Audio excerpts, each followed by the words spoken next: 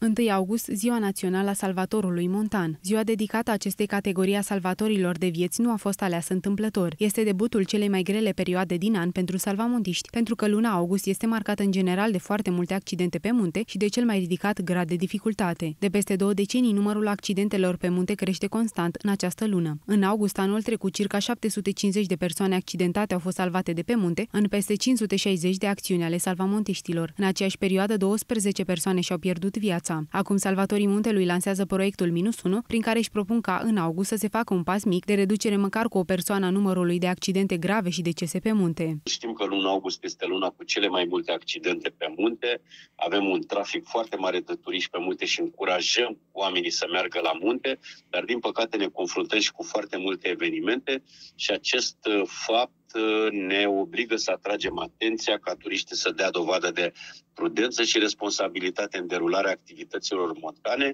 și să fie alături de noi în campania permanentă pe care o derulăm pentru a reduce numărul de accidente pe munte. Primele echipe de salvare montană au fost înființate oficial în țara noastră în 1969. Printr-o hotărâre a Consiliului de Ministri erau înființate echipe salvamont în 13 localități montane din România, formate din alpiniști și schiori pe bază de voluntariat. Prima bază salvamont Cristianul Mare a fost înființată în 1970 în masivul Postăvaru. În 1972, salvamontiștii au ajuns la un nou nivel, fiind înființată Școala Națională Salvamont. A fost și semnalul că Salvamont reprezintă o structură serioasă de mare importanță pentru societate.